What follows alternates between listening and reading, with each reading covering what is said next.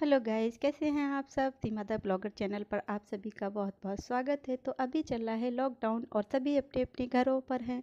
तो कुछ अच्छा खाने का मन करता है तो आज मैंने बनाया है स्प्रिंग रोल जिसकी रेसिपी मैं आप सभी के साथ शेयर करूँगी, ये बनाने में बहुत आसान है और ये बनने के बाद बहुत टेस्टी बने थे और किस तरह से बनाए हैं तो चलिए आज मैं आप लोगों के साथ इसकी रेसिपी शेयर करती हूँ। तो यहाँ मैंने ली है मैदा और इसे मैंने अपने एक कप के हिसाब से चार कप मैदा लिया मैंने यहाँ लिया है थोड़ा सा कम, कॉर्नफ्लावर एक कप। और इसमें थोड़ा सा मिलाऊँगी सॉल्ट और थोड़ा सा एक चम्मच मिलाऊँगी इसमें विनेगर और इसका डो लगाकर अच्छे से तैयार कर लूँगी। और इसमें हल्का सा थोड़ा सा मोहन भी लगा देना आप और इसको कवर करके रख देती हूँ पंद्रह से बीस मिनट के लिए, तब तक करती हूँ स्टफिंग की तैयारी। तो चाउमीन बनाते हैं सेम वही प्रोसेस है।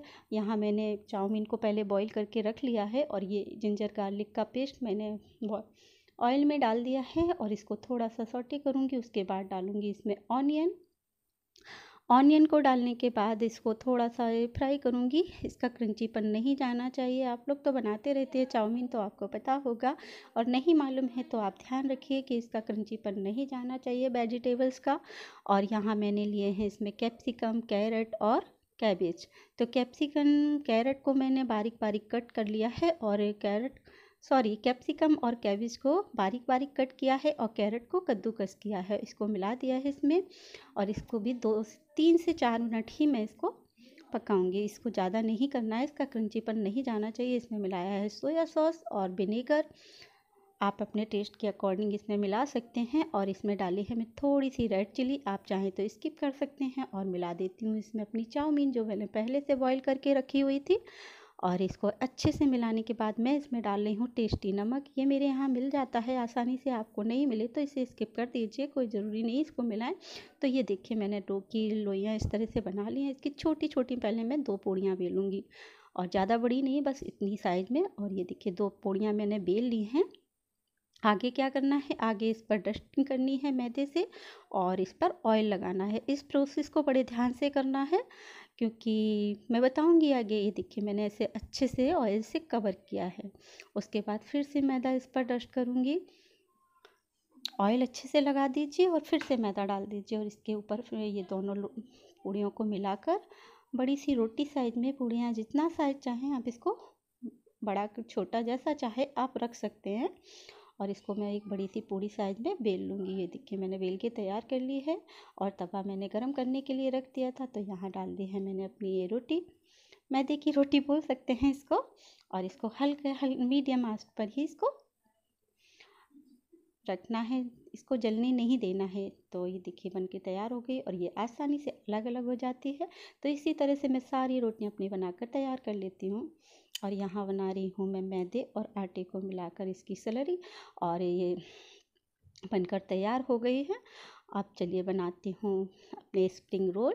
तो यहाँ एक रोटी मैंने रख ली है और इस पर रखी है स्टफिंग और इसको अब यह ध्यान रखना है कि स्लरी अच्छे से चारों तरफ़ इसको कवर कर दीजिए। इस ये कहीं से खुलना नहीं चाहिए गाइस ये मेन प्रोसेस है। अगर ये कहीं से भी खुली रह जाएगी ना तो इस, इसे मैं डीप फ्राई करूँगी ना ऑयल में डालकर तो ये कहीं से भी खुली रह जाएगी तो इसमें अंदर ऑयल चला जाएगा फिर इसका टेस्ट बिगड़ जाएगा। इसलिए इसको कवर होना इसका कवर होना बहुत ज़रूरी है। चारों तरफ़ से इसे अच्छे से मैं इसे कवर करूँगी।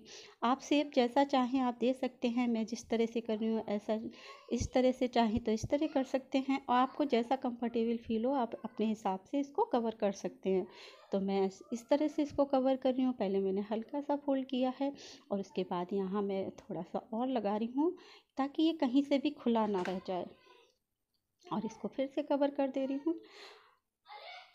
और आप अपने हिसाब से कर सकते हैं, जिस तरह से आपको कंफर्टेबल फील हो। तो ये देखिए, मैंने चारों तरफ़ इसको अच्छे से कवर कर दिया है। इसी तरह मैं सारे पीसेस को बना कर रख लूँगी। और ये देखिए आप, और मैंने बना के रख लिए हैं और ऑयल मैंने गरम करने के लिए रखा है कढ़ाई में। ऑयल अच्छे से गरम हो गया है और अब मैं इसमें डालना स्टार्ट करती हूँ। एक एक पीस डालती हूँ मैं इसमें और अलट पलट करके सेकती जाऊँगी।